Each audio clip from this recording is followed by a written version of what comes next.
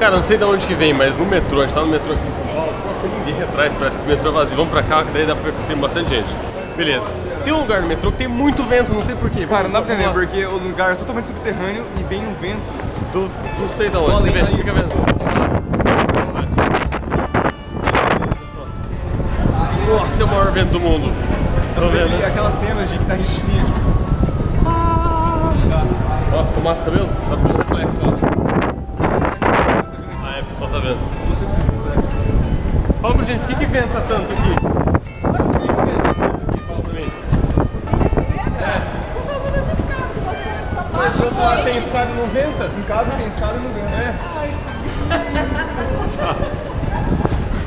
Você viu?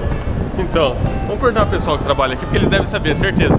Moça, fala pra mim, por que que venta tanto aqui? Explica pra mim. Você não sabe também? Você sente vento todo, vento todo dia, não sabe por quê? Então tá bom. Ela sabe muito de não concordaram com ele. vento, que coisa.